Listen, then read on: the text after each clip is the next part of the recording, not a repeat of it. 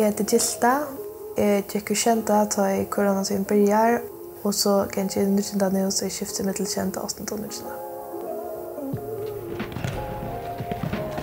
Jeg kan ikke håndball til nyrkjenta år, og alle det som kan ikke håndball til er mine vindfolk, altså de som er sammen vi. Og til at jeg ikke kunne være sammen ved Taimon, og ikke kunne spela ved Taimon, altså til at att det var räringt, att avvärska i räringt, att det var så, så, så, Det så, så, så, så, Det var ordentligt strävan. Man visste ju omgått i halka att man själv slapp. Alltså, hvis jeg var den femte, og jeg er noen, en bøltje, og man bare slapp av hver fyra, slapp jeg så affæra, eller, eller til, så man spurte jeg så ofte mamma, slepp jeg hette, og mamma visste helt ikke alltid at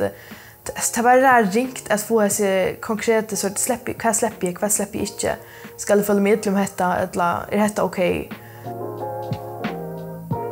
Jeg har alltid gått råd være til, hvis det hender om at det er at uh, kipa ungdommen eller flokkene i sånne sosiale bølger uh, som man hever omkring å være sammen vi og hever omkring å gjøre leksjer vi eller for en tur vi eller tåsa vi altså akkurat så det ikke føles så ens, uh, ensomt at uh, jag var till och så skulle sitta inne framför tältena att här var onkeln att jag läxer vi onkeln att spyrja ting om eller bara onkeln att tåsa vi